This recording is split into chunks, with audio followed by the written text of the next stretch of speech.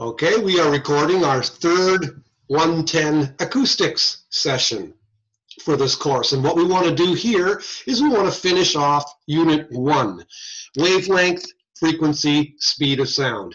Next week, we'll go into unit two, which is the decibel. So we're finishing off this week's this the, the notes for unit one. I will share screen and pull those guys up. So that one, shrink this one. Here you go. So looking at the notes and where we were, okay, I will kind of go where we finished off last time. We finished off last time talking about wavelength and frequency, and we talked about about uh, frequency and period. So now we're moving on to page three, and we'll finish page pages three and four today here's some stuff I'll have you uh, put a star by that some stuff is important and some stuff isn't. So speed of sound, the velocity of sound. Basically, you should have a grip on this one. Don't worry about the 343. If you just think 340, close enough. 340 meters per second is the speed of sound. About 1130 feet per second. Or if you're sticking into metric, it's 1,238 kilometers an hour. And if you're going in terms of miles, the speed of sound is 766 miles an hour. Now, when you think about that, what is that really? Well, it's a little bit faster than a jet. When you're taking an airline and you're flying from Kansas City to St. Louis, and the plane leaves the ground and you're flying through the air and you're about halfway there, you are going about 550 miles an hour, about 600 miles an hour, max. Minimum 500, maximum 600. So you're slightly under the speed of sound. Okay? Only wasn't all that long ago when finally jets were able to break the sound barrier. But most commercial jets that you, people fly in don't break the sound barrier. Now look at the speed of light that I'm highlighting here.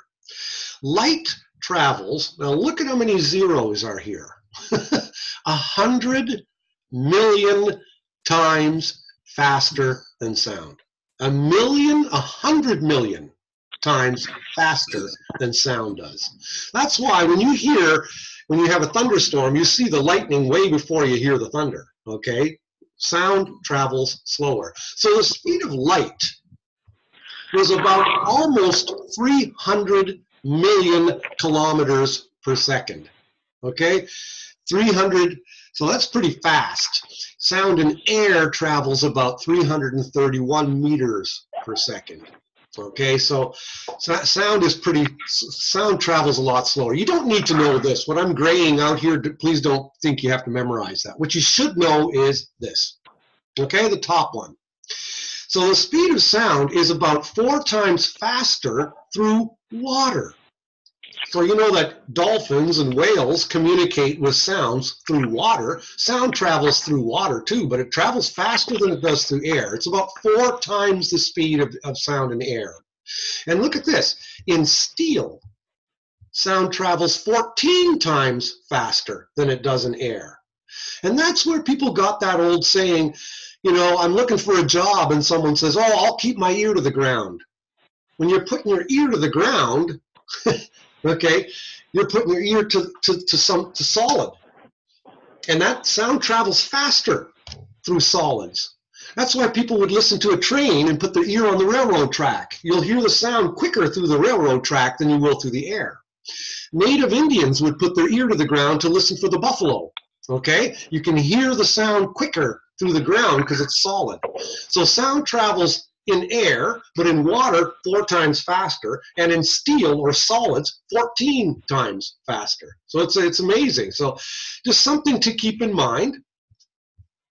Now, here's something you need to put an asterisk by. This is a bit of physics. Okay, here you go.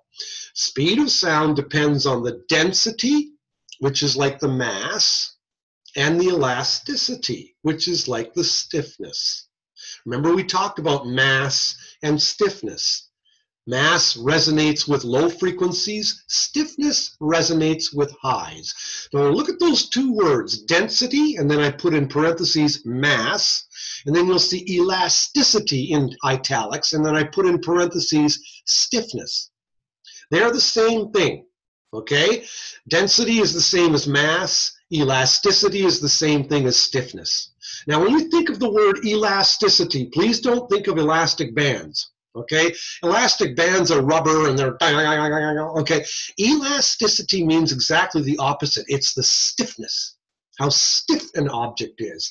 So the mass of an object and the stiffness of an object, those two things determine what what the resonance will be, and they also determine the speed of sound through which the sound travels. So how fast will sound travel through metal? How fast will sound travel through air? It depends on the density of air and the stiffness of air, and the density of metal and the stiffness of metal.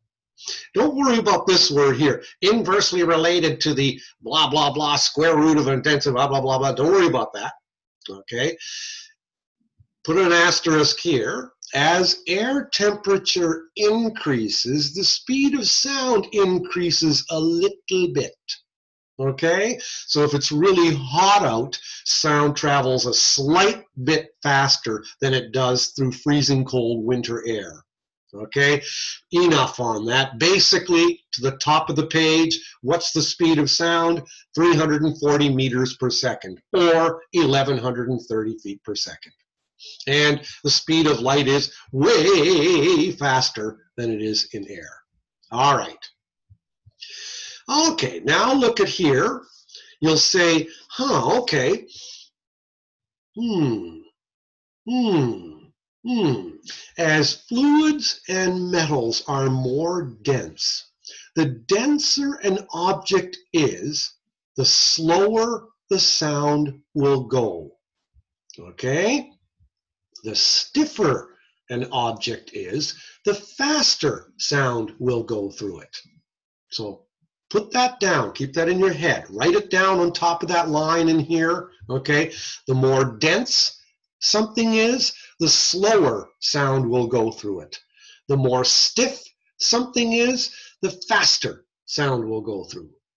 So now this sentence here is asking you, yeah, but if fluids and metals certainly are more dense than air, aren't they? I mean, watch. I mean, if I can, if I, I can move my hand through air, but I can't move my hand through my face, this is, this is more dense. Yeah, I know I'm pretty dense, okay? But this is more dense than air. It's harder than air, right? And water in a cup, okay, is harder than air. So they're more dense. So, but what did we just say in that sentence there? We said, oh, as things are more dense, sound goes slower through it. And things are more stiff, sound goes faster through it. And that's why I, I'm highlighting this sentence. But fluids and metals are more dense than air. So why does sound go faster through them if they are more dense? Okay, steel is 6,000 times more dense than air. The sound speed is inverse to density. The more dense something is, the slower sound goes. But here you go. Steel is way more elastic than air. In other words, circle that word, stiff. It's more stiff than air.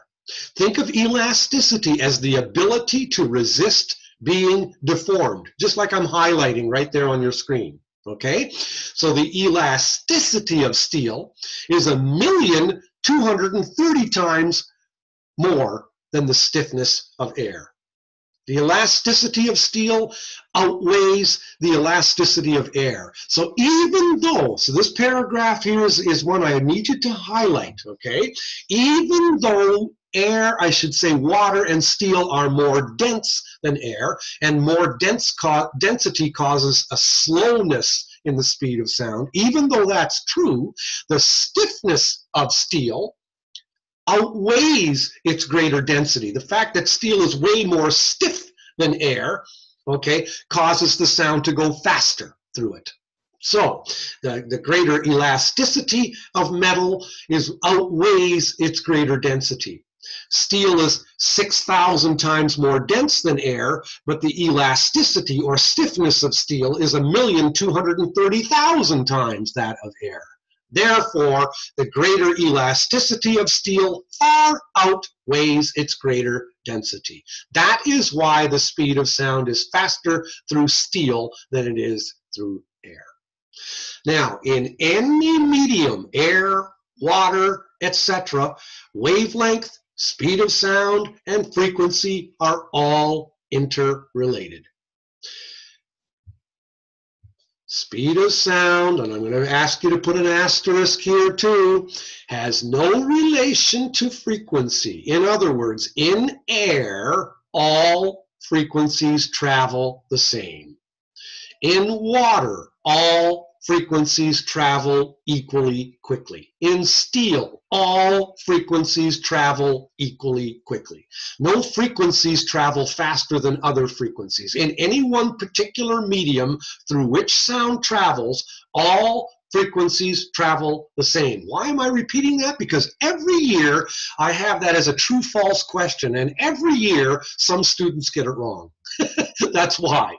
I'll have a true false question saying a thousand hertz travels way faster than 2000 hertz. True or false? And a lot of people put true. And it's like, no, all frequencies travel the same speed in any particular medium.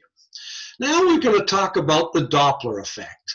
Speaking of speed of sound, the Doppler effect is something that happens below the speed, the, below the sound barrier okay, below the speed of sound.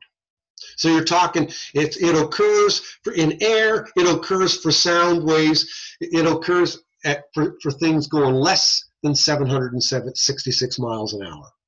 So here goes, the Doppler effect. You're standing at the street corner, okay, and you hear an ambulance coming toward you, or a police car. And the police car is going, has a siren going, and as the car's coming toward you, the siren goes up in pitch. And once the car goes past you, think of a race car. As it comes toward you, the frequency goes up. As it leaves you, the frequency goes down. Why is that? Read it with me. Frequency increases as the object approaches, then decreases as it passes. Some stationary source of, say, 100 hertz is going to vibrate air molecules, okay, at about 340 meters per second toward you. As the source moves toward you, the distance is decreased and it crowds the same number of cycles into a smaller distance. Look, you've got the speed of sound happening, and sound is traveling like this toward you, okay? But the car is also coming toward you. So you've got the speed of sound, 766 miles an hour, plus the speed of the car. So if the car is going 60 miles an hour, and the speed of sound is six, 766 miles an hour, you've just increased that speed, the, the, speed of sound toward you, okay? Because the car is moving toward you. So you've got the car speed plus the speed of sound coming to your ears.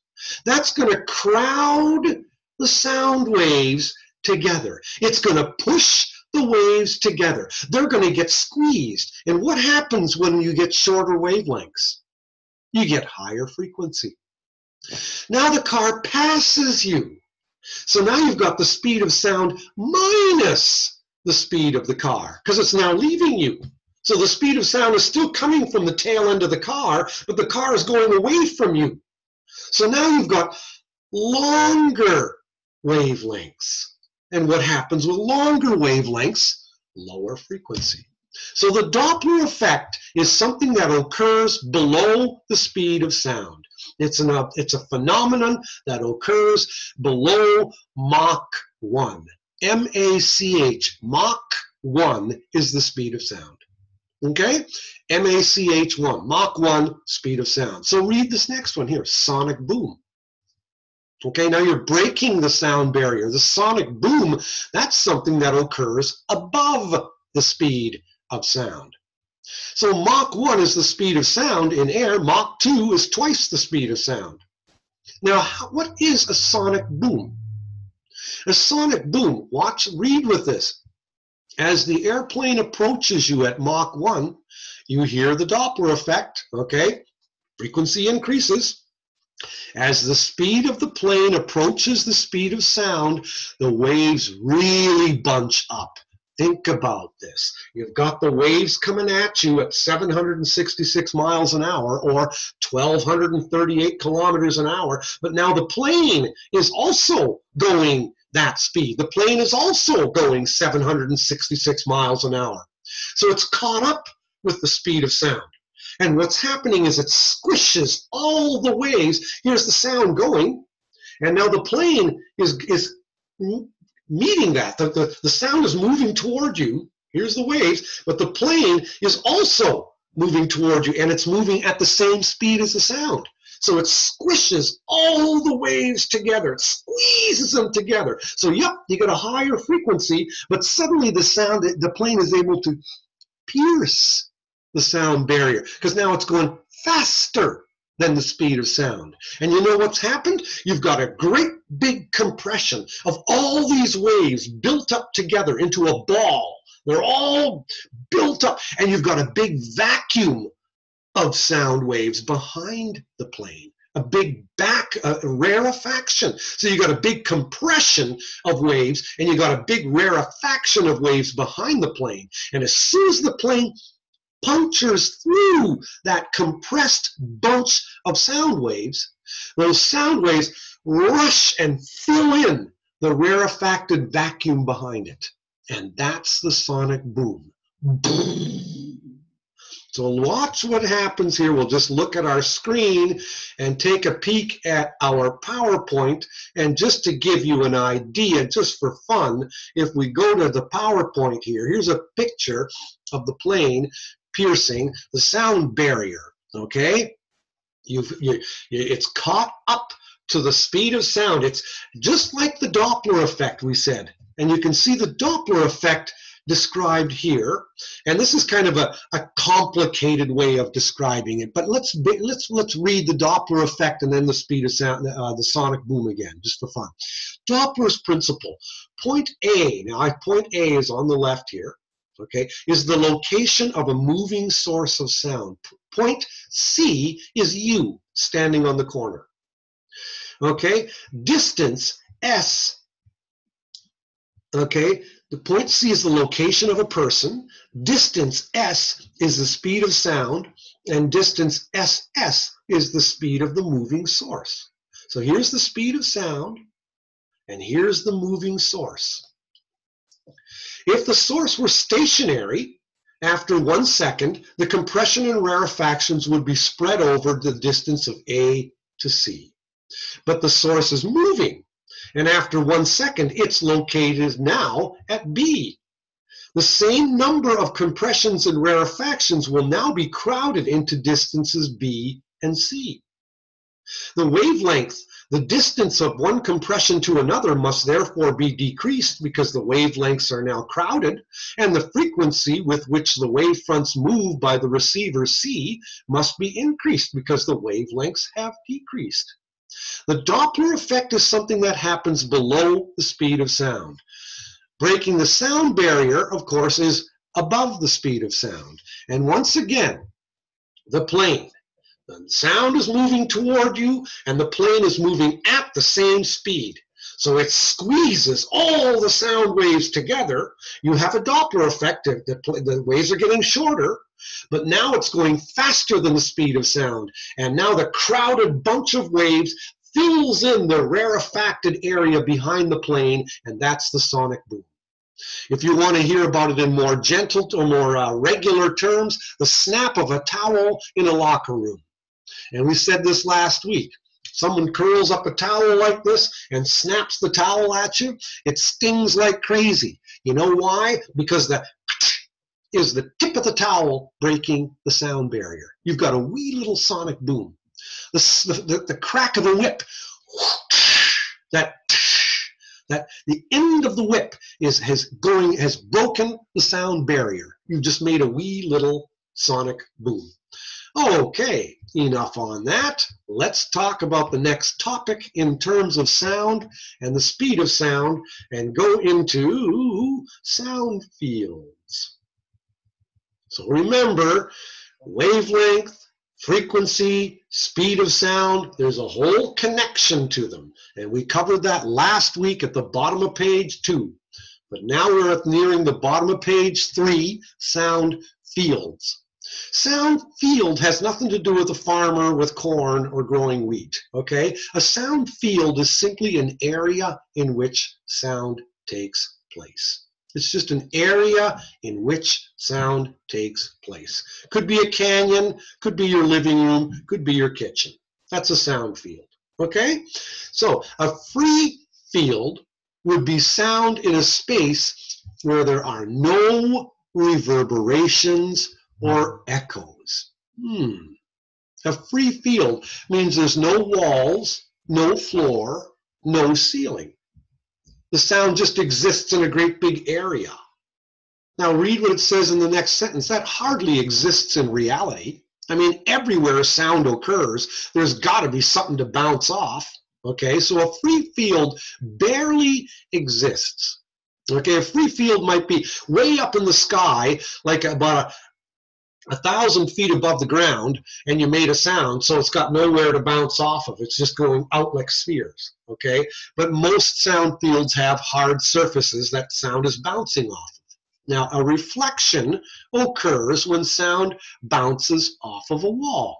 Or in physics we say a reflection occurs when sound travels from one medium to another. So if sound's traveling through the air and it hits your cupboard well that's another medium Okay, air is one medium, your cupboard is another medium. Where sound travels through air and hits the, the back wall of a classroom. Okay, sound traveling through air is one medium, the back wall of a classroom is another medium. All right, so sound energy in the first medium, air, increases because of the added reflected sound off of the second medium.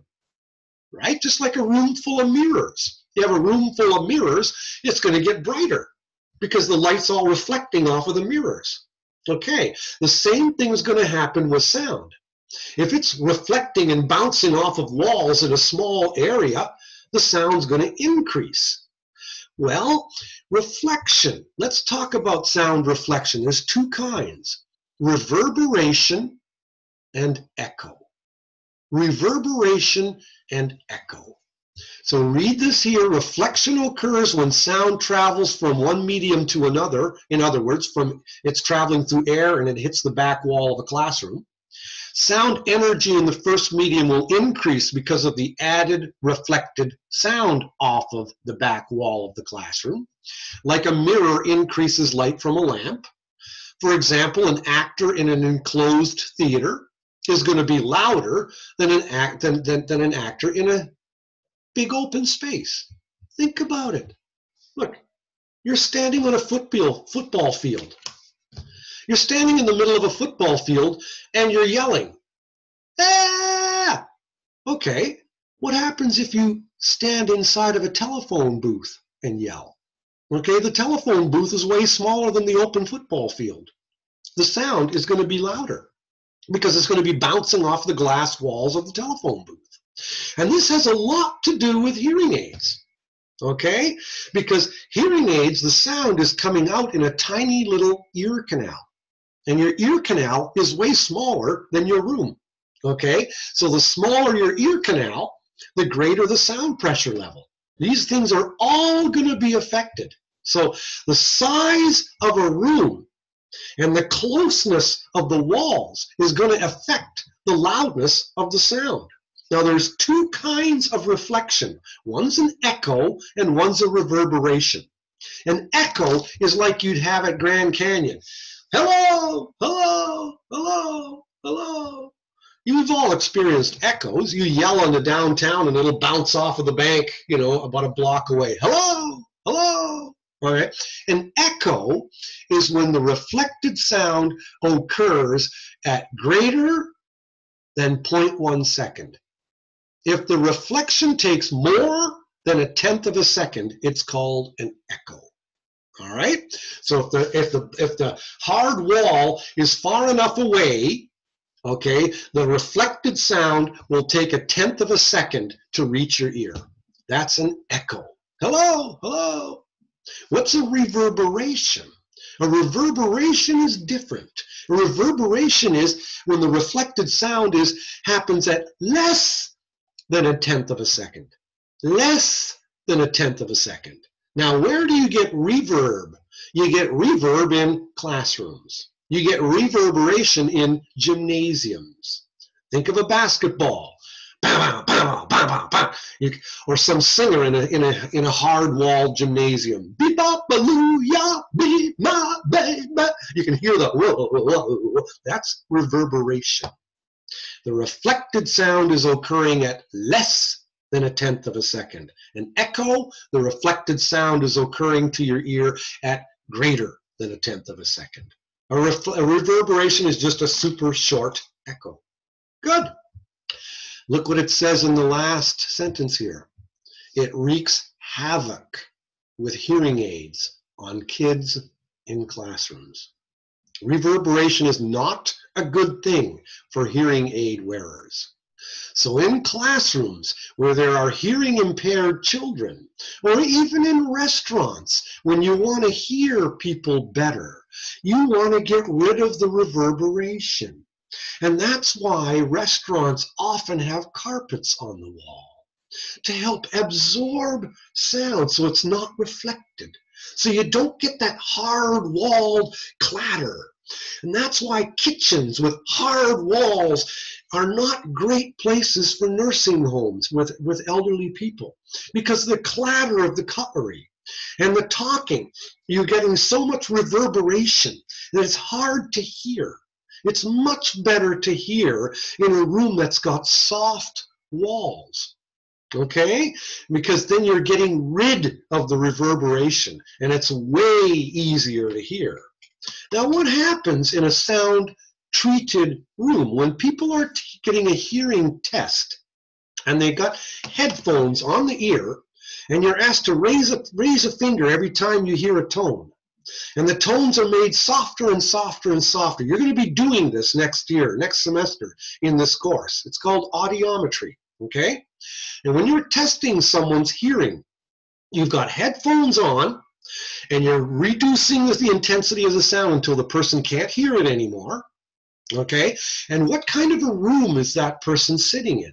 That person is sitting in a sound treated room. It's kind of like a room that's got walls that block out sound from coming in, but it's not totally soundproof.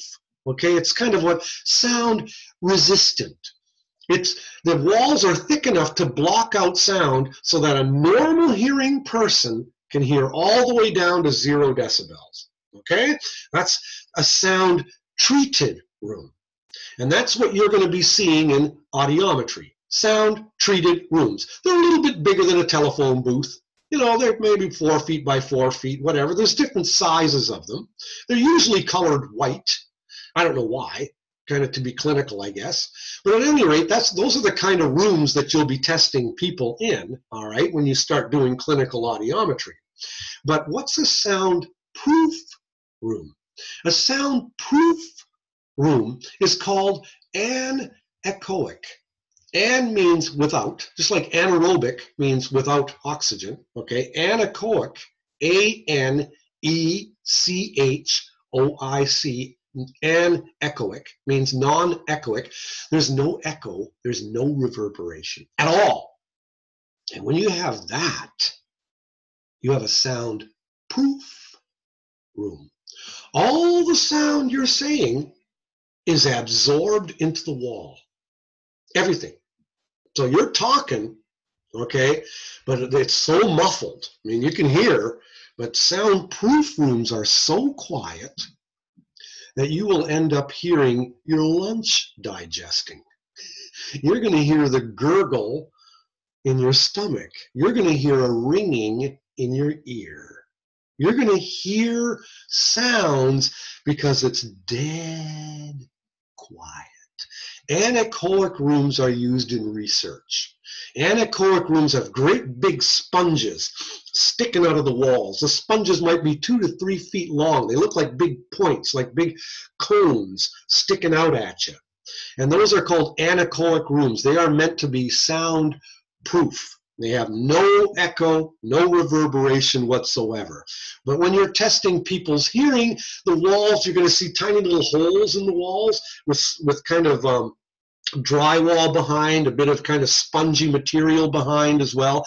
They're meant to reduce a lot of reverberation and echo too, but not 100%, not totally. Anyway, the walls of an anechoic room are completely thick as well, so that you can yell all you want and nobody outside's going to hear you, and people outside can yell all they want and nobody's going to hear them. So, but the, let's go to our notes here and read what we've got on the top of page four. So here we go. We were on page three. Here's page four. A standing wave is when a sound bounces back off of a wall and it's in complete opposite phase with the original sound that hit the wall. Hmm. So it cancels itself out. What did we read about phase? Let's go to look at that in our good here you go. Look at the bottom sound here. Two sounds are out of phase. Here's one sound, here's the other one. When they're in opposite phase, you'll have the sound of one hand clapping. You will have silence. Okay? So, in a room, when the original sound is coming out of the wall, or is, is coming is coming from a source, okay? I don't want this picture. I want uh, notes. Okay. When, when, when an original sound occurs and it bounces and then the, sound bounces back off of a wall. If the sound bouncing back off the wall is in complete opposite phase with the original sound that hit the wall you're going to get a cancellation and you're going to get a dead spot in the room. So you're going to get a lousy quality of sound. And this is why people engineer rooms. That's why acoustic engineers design theaters theaters aren't just made like out of just for fun. They're designed so that you don't have dead spots in the room. You don't want to have areas in the room where the sound bouncing off the wall is opposite in phase to the original sound that hit the wall. Otherwise, you're going to be sitting in a lousy place. You're going to be hearing, you know, a crummy sound. You're going to have to move to a different seat. That's because the seat you had was in a dead spot area. Acoustic engineers deliberately design rooms so that they don't have dead spots. All right, an anechoic room, there you go. An means without, echoic means has echoes. It's, an anechoic room is meant to imitate a free field. They're extremely expensive. What did we say was a free field? No sound bouncing back. When you've got a soundproof room, you have an anechoic room. It has no reverberation whatsoever, and the walls are very, very thick. Sound treated rooms are what you and I will use in our field. Hearing is tested in a semi soundproof room, usually isolated from the rest of the building by double glass double walls, etc. Ambient room noise is kept down to a minimum, and it, it enables hearing testing to be down to be to, to, to be done down to a minimum with faint tones.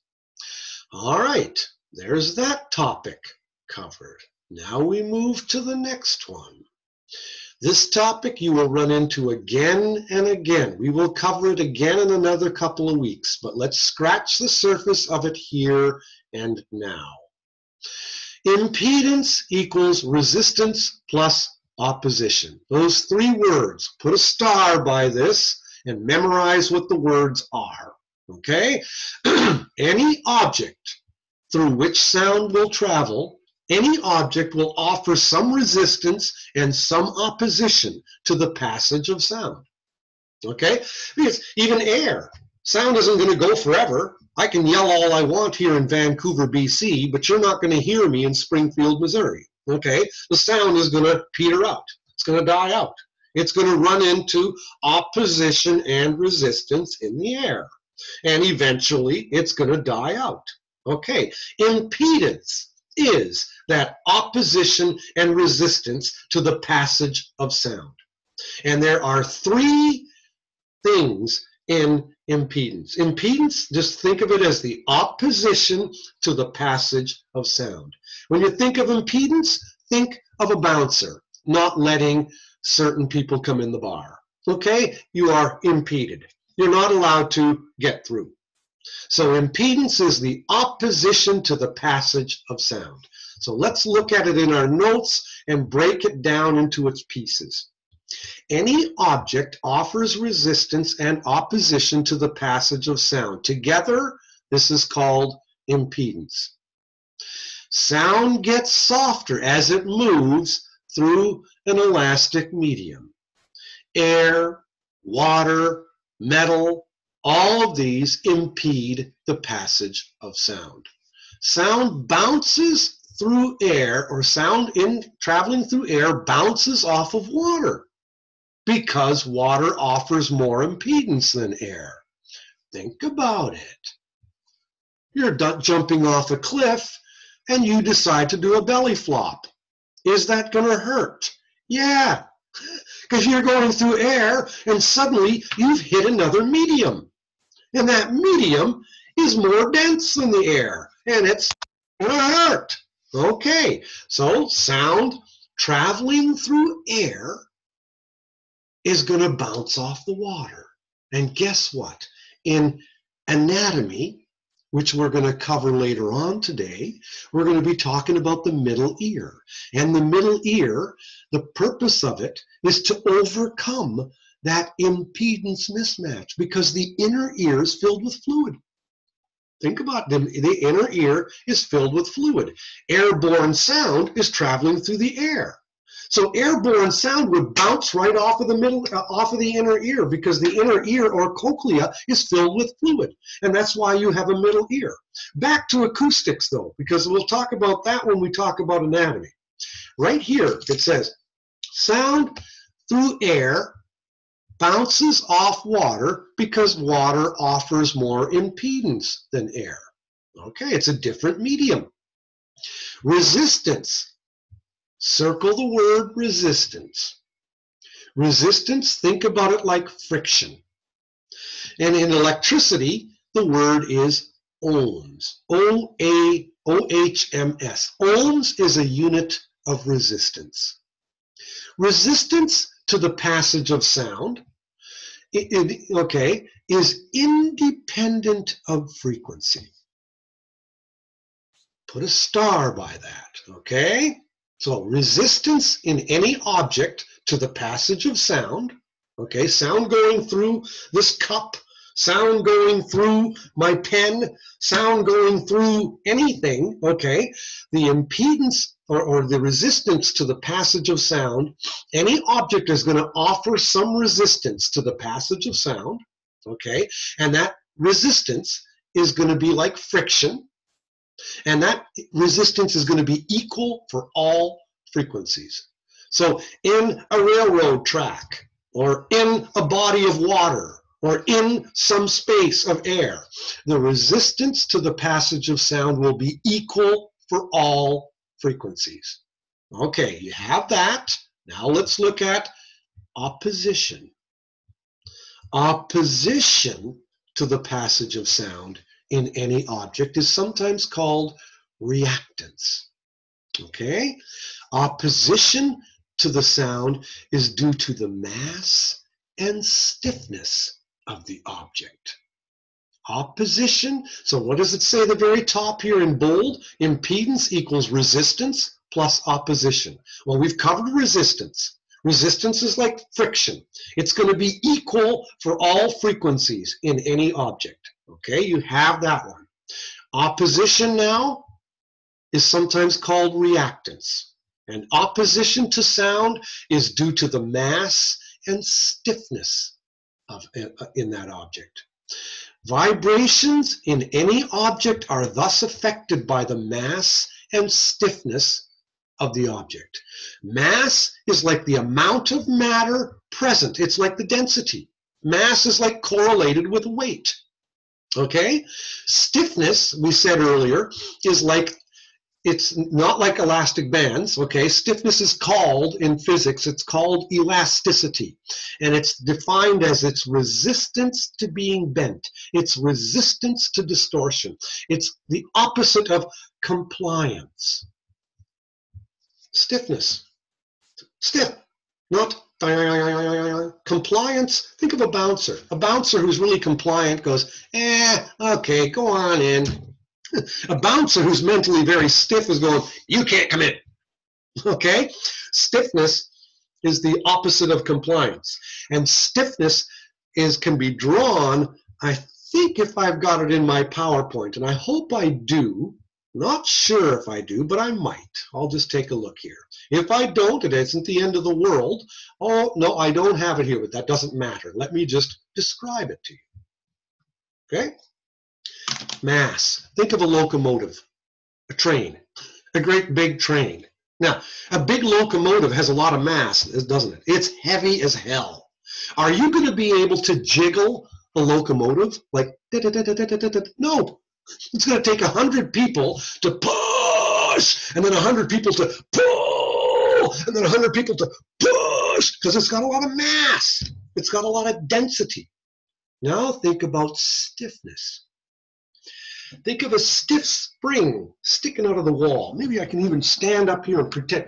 Think of it, see this wall over here? Think of it as a big, thick spring sticking out of the wall. If I try to push on this on that stiff spring slowly and pull slowly, I'm going to run into a lot of opposition. But if I stand here and go, no problem. Okay, stiffness likes to be moved fast. Mass hates to be moved fast. So mass resonates with low frequencies, and stiffness resonates with high frequencies. And that's why I've put these two pieces together in the notes. And we'll go to the notes. Okay? There you go. We'll go right to it impedance is connected with resonance. Okay, all of that stuff. So mass opposes highs and it resonates with low frequencies. Okay, stiffness opposes low frequencies, doesn't like them, and it resonates with high frequencies. So impedance is like the flip side of resistance.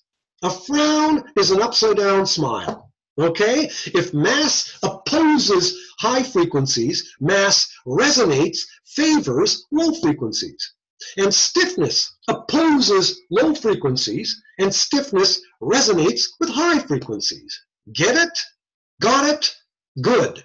So this impedance section here is all connected with resonance that's described near the bottom of the page. All right? so, vibrations in any object are affected by mass and stiffness. Mass is the amount of matter, the density. Stiffness is the opposite of compliance, okay? So in any particular object, the opposition is very different for different frequencies of sound. That is, changing the frequency of the sound definitely will change the amount of opposition. If the object has a lot of mass, it's going to oppose high frequencies. It's not going to let high frequencies get through it. If, if an object is very stiff, it's going to oppose low frequencies. It's not going to let uh, stiff low frequencies get through it. So, flip side, mass is going to really like low frequencies going through it, and stiffness is going to really like high frequencies going through it. So opposition or reactance is very, very frequency dependent because it's, it, it, it hinges on mass and stiffness. And mass opposes highs and stiffness opposes lows. But resistance in any object is not frequency dependent. It's like friction. So opposition due to, due to mass and stiffness can be seen as one hammer, and the other one is resistance, and those two together are impedance. Okay, now take that big frown called impedance, flip it upside down to a smile called resonance. Impedance is the opposite of resonance. An object's favorite vibrating frequencies is where the least impedance is. If an object offers impedance to a certain sound, it does not resonate with that sound. Resonance occurs in any transmission system anything through which sound travels when the opposition due to mass is equal to the opposition due to stiffness. This is in your textbook as well, and you, I suggest you have a read of it, but in your textbook, if you see this picture, you will see it right there. Okay? Resonant frequency is where the impedance or the opposition due to mass is equal to the opposition due to stiffness. At that particular frequency will be the resonance of an object. Lassen Woodford, figure 116 out of your textbook. So, any object thus has a favorite vibrating frequency. Think of a wine glass at Christmas, and I've demonstrated this one before. Lick your finger, you, hit the resonant frequency of the wine glass. Blow over a pop bottle. And all of a sudden, okay, you finally hit the resonant frequency of that pop bottle. The frequency where the opposition due to its mass and opposition due to its stiffness are equal. Resonance is the favorite vibrating frequency of an object, and it hinges directly on the mass and stiffness properties of that object. Slane and pimple, plain and simple. Ah, all right, we be winding down. Now, here we near the end of Unit 1. I'm going to scroll down here. Tuning forks. And just read this. Here you go. Let's read it. As mass increases, resonant frequency decreases. Thicker strings on musical instruments vibrate more slowly. Uh, for example, a floor has lots of mass. Only the bass is heard from the neighbor's apartment upstairs. Right? Just think about it. You're sitting in your living room, neighbors upstairs are playing loud music. What's coming through the ceiling? The bass and the drums. Because your ceiling is dominated by mass. So it's going to resonate with low frequencies. That's what's coming through. Stiffness, as stiffness increases, resonant frequency increases. Hold out your arm straight and stiff. It's easier to move it up and down rapidly. Now I'm going to show you here and pretend I'm going to hold my arm out really stiff. And if, and I'm going to read your name here, if Anna Woods or if Ricky Trowbridge, either one of you, was to grab my finger my fingers. If I held my arm out really stiff and you grab the end of my fingertips and you try to lift it up and push it down and lift it up and push it down, you'd run into a lot of opposition. But if I'm holding my arm out really stiff and you did this, no problem.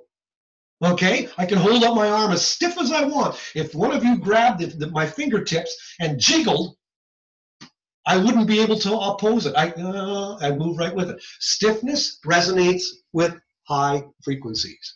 Mass resonates with low frequencies. Stiffness opposes low frequencies, resonates with highs. Mass opposes high frequencies, resonates with lows. Okay, so think of impedance and resistance as a frown and an upside down smile. They are inversely related. Good, I think we're getting through.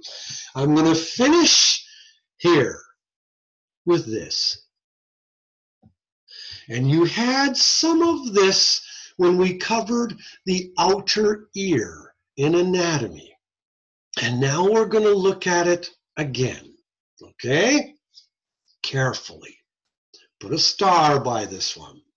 I think this is part of the harder this this third week is the hardest part of wavelength frequency and speed of sound. But we will encounter this again and again. So please don't think that I'm going to always get harder and more and more because it's not true. We're going to repeat a lot of things. You're hearing some of this for the first or second time. I think we covered some of this in the outer ear. But let's look at it again here in, a, in, a, in the acoustics course, 110. There's something called quarter wave resonators. So put a star by this one. Quarter wave resonators are mentioned very often in our field, a lot. Okay? Quarter wave resonators are things like cylinders, like my cup. I'm not going to tip it too much or the coffee's going to fall out. Okay? But the cup has an open top and a closed bottom. Anything that's like a cylinder that's closed at one end and open at the other end is a quarter wave resonator. Now, I can think of two examples in our field of quarter wave resonators. One of them is your ear canal. Your ear canal is a thin tube. It's open at one end and it's closed by the eardrum at the other end. So it's a quarter wave resonator. I can think of another quarter wave resonator too. Your throat. Your mouth is open and your vocal folds, your larynx, your Adam's apple is here. This is what creates your speech. So this is closed, your mouth is open, and it's a tube. So it too is a quarter wave resonator. Speech has one, hearing has one. Now let's look at quarter wave resonators. What is it about quarter wave resonators that's unique? A tube closed at one end resonates best now you know what resonance is.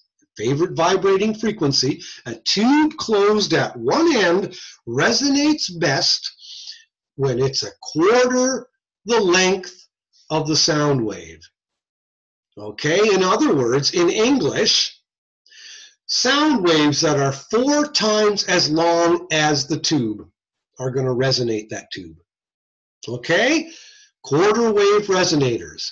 Any tube closed at one end, it says here, resonates best when it's a quarter the length of the sound wave in question. In other words, sound waves four times as long as the tube are going to resonate the tube.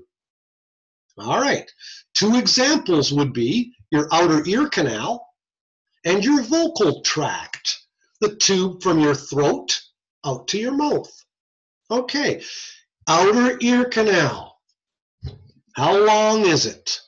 Now, I'm going to say this in plain metric because let's forget the inches right now, although if you worked out the inches, it would work the same. What did we say your ear canal is in length? It's an inch. It's about an inch long. What's an inch? Two and a half centimeters. What's a centimeter? Your fingernail. So put two and a half, two of these, about two and a half of these together, and you got an inch. Okay? Just think in broad terms. So two and a half centimeters is one inch. Okay, now back to your notes. The speed of sound in air is 343 meters per second, or 340 meters per second. So what's it going to resonate best with? Your ear canal is going to resonate best with sound waves that are four times its length. Well, what's four times two and a half?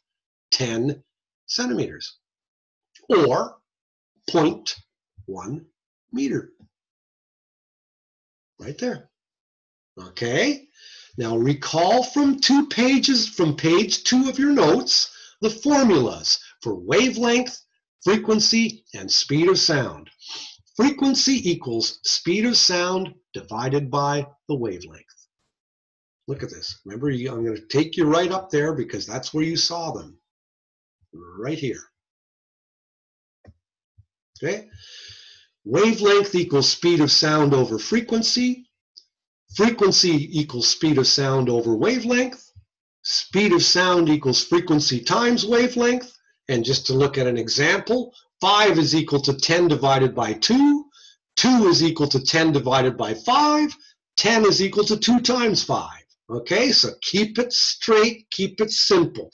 When we were looking at wavelength, versus frequency, we were trying to figure out the physical length of the wave. So we said wavelength equals speed of sound over the frequency.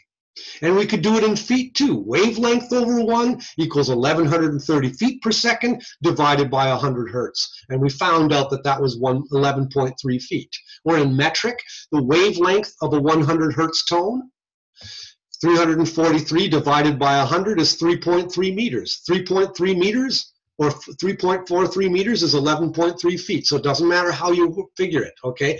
But here, we're not trying to find the wavelength anymore. We're trying to find the frequency. So we just flip that formula around a little bit. Here we go. Where is that guy? We're interested in this one. Okay? So we're looking at that one. All right, so let's move down to the end to right where we were. Okay, recall from page two of your notes the formulas for wavelength, frequency, and speed of sound. Frequency equals the speed of sound divided by the wavelength. So frequency over 1 equals 343 speed of sound divided by 0.1 meter. Okay, there you have it. So, because 10 centimeters is a tenth of a meter, is 0.1 meter. And why 10 centimeters? Because your ear canal is two and a half centimeters long, so it's going to vibrate or resonate with sounds that are four times that. Four times two and a half is 10 centimeters. What's 10 centimeters in, met, in, in, in a meter? It's 0.1 meter. Because if we're talking 343 meters per second, we've got to have the denominator also in, in meters. We can't be talking apples and oranges, okay? So 343 divided by 0.1 is 3,400 hertz. And that would be the natural resonance of your outer ear canal because it's a quarter wave resonator. Now let's talk about how come when you breathe helium out of a balloon. Now have you ever breathed in helium? Have you ever taken a helium balloon? Oh, you gotta try it sometime. It's a hoot. I do it all the time. When I'm at carnivals or fairs and you see a, the balloon sitting up like that, I always grab one, snap the string, try to undo the knot. That's the hardest part, undoing the knot. But once you got that, hold the balloon and and you'll be talking like this. Your whole voice is really, really high up and after, and then after a while, it kind of back down normal again, and you're finally talking normal. Okay? Why does helium make your speech high at first? It's because of that same quarter wave resonator stuff. Look at this. Helium speech. Why is it high pitched? Your vocal tract, your throat, from your larynx to your mouth is 17 centimeters. Okay, speed of sound in air, look where I'm highlighting here, is 3.43 meters. So your throat is going to resonate best with sound waves that are four times as long. Okay, so 4 times 17 is 68 centimeters. You can see it there grayed out. And what's 68 centimeters? 0.6 8 meters. So I'm going to hot gray this area. Here, frequency equals speed of sound divided by the wavelength. So frequency over 1 is equal to 343 meters per second divided by 0.68. And what do you get when you do that? 500 hertz. So 500 hertz is going to be a natural resonant frequency of your voice. Okay? Because your, your throat is a, five, is, is a quarter wave resonator. Now let's talk helium. Aha! When you're talking helium, sound travels faster. Helium, sound goes way faster. Helium is less dense than air. Remember we said at the beginning, the more dense something is, the slower the speed of sound? Well, helium is less dense than air. So helium, sound goes faster. And helium, sound goes 927 meters per second. So when you've inhaled helium from a helium balloon, now the formula is different. It's frequency over 1 equals 927 meters per second divided by 0.68. And when you do the math, look at the frequency. You got 1362 hertz. Hence, helium makes your voice higher. And it all has to do with the relationship between wavelength, speed of sound, and frequency. All right, we are essentially done this section. You'll notice a, a, few pictures that I drew in here. I mean, here's your outer ear canal. Okay, this is talking about your outer ear canal. It's a quarter wave resonator, two and a half centimeters or one inch in length, a cylinder open at one end, therefore a quarter wave resonator. Okay, and here's your outer ear canal resonance as a quarter wave resonator. And notice that it's not at 3400 hertz that we said in our notes here. Notice that the resonance is kind of spread. And you know why? It's because your outer ear canal is not made out of glass or metal or steel. It's made out of flesh and bone. And so that resonance is going to be spread out a bit. In the human ear, the peak resonance is actually at 2,700 hertz, and the resonance begins at around 1,500 hertz, and it ends around 4,000 hertz. This is a very important graph okay? And it's telling you the amount in decibels of resonance and the frequencies of resonance of your outer ear canal. Very important picture because you're going to see the same picture in your anatomy notes when we covered the outer ear. The same thing in the physiology of the outer ear that we covered last week in 120 anatomy. That's why acoustics and anatomy are so tied together. The principles are involved in both, okay? And here, the purpose of that resonance, we said, is to add decibels to the high-pitched consonants of speech. And here's a person's hearing levels. The X's are the left ear, the O's would be the right ear. And we can see that this person has good hearing in the low frequencies because not many decibels are required for that person to hear. But in the high frequencies, you can tell it takes more decibels here would be the decibels in order to just barely hear. So this person, much like the people you will see at your clinics, has a high-pitched treble hearing loss. And now that added resonance offered by the outer ear is no longer enough to make these high-pitched consonants audible anymore. And the person will need hearing aids. Okay, but that's an interesting question too, because when you plug up an ear with a hearing aid, you've lost that love and feeling because no longer is the outer ear an open ear canal that's closed at one end. Now it's closed at both ends. So you've lost that quarter wave resonance. So that's why hearing aids always have a hole in them called a vent to reduce that kind of a loss. You'll cover that way later. Anyway, we're about done for today. If I go to the PowerPoint slides and show you what I got, Okay, here's a picture here of a throat. Okay, this is the human vocal tract. In other words, the other quarter wave resonator from your larynx, right here, out your mouth. This is your nasal cavity, so we won't worry about that. This is your other quarter wave resonator. Closed at one end, open at the mouth. So you have two quarter wave resonators, the throat and the outer ear canal. Okay? And they hinge on the principle that they vibrate best with sound waves four times their length. And we talked about the outer ear canal and what it does for, for, for speech. It amplifies the soft, high frequency consonants. Look at the letter F. Look at how soft it is. It's only 20. Look at the letter S. It's really soft. They need that lift that's why you have an outer ear shaped the way it is. Because your outer ear, with its bends and folds and the length of the ear canal, make a quarter wave resonator, and basically all of those things put together give you that lovely added resonance of the outer ear. Okay, we be done. I'm going to shut down Unit 1. Next week, we will begin in acoustics on Unit 2 the decibel. I'll call it the decibel from hell. Okay, you covered wavelength, speed of sound, frequency. Now it's time to examine another dimension of sound, and that other dimension of sound would be amplitude. So amplitude of sound is we call the decibel. So that's what we'll be covering next week, Tuesday at the normal time of 11:30 Central Time. Zoom session number four in, in acoustics 110 will be Unit 2. So print up your notes from Unit 2 next week just before the Zoom session. I'm done. I'll see you in just a bit. Okay? I'm going to stop recording here. All right.